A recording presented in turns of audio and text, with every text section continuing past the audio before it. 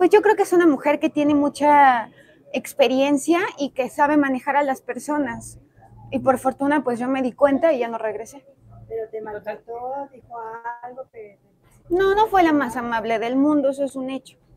O sea, pero aún teniendo las pruebas este, de que salió en el programa, aún así te atacó. Sí, me atacó al día siguiente. Le dio la razón a Niurka, ¿no? De todo lo que te había hecho. Sí, le dio la razón. Te desilusionó totalmente. Me desilusionó, claro, por supuesto.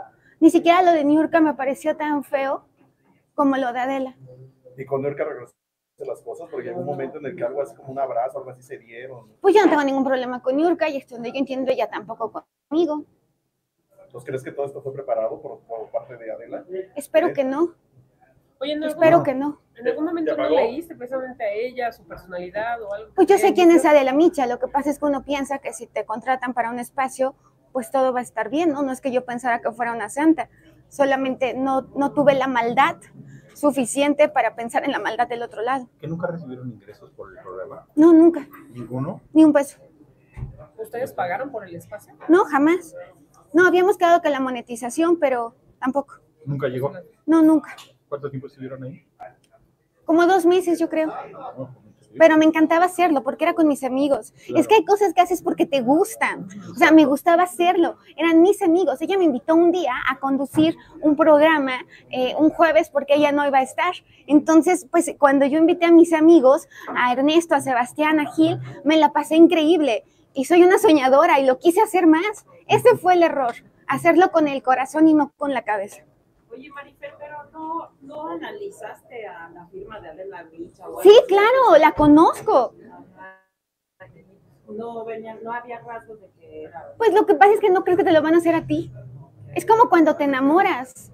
Adela es una gran seductora y seguramente mañana dirá algo muy seductor y la gente dirá que qué padre.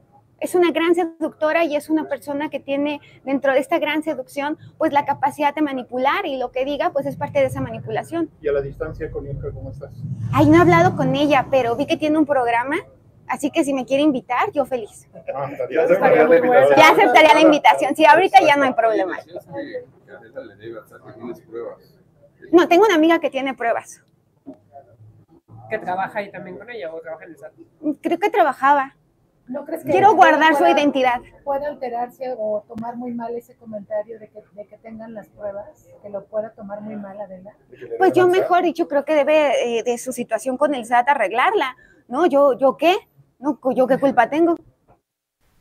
Estuvo bien fuerte estas declaraciones de, de Marifer Centeno con Adela Micha. El próximo lunes que, que estemos platicando con Marifer, a ver qué nos dice. Por cierto, va a estar el 7 de diciembre en el Teatro Jorge Negrete.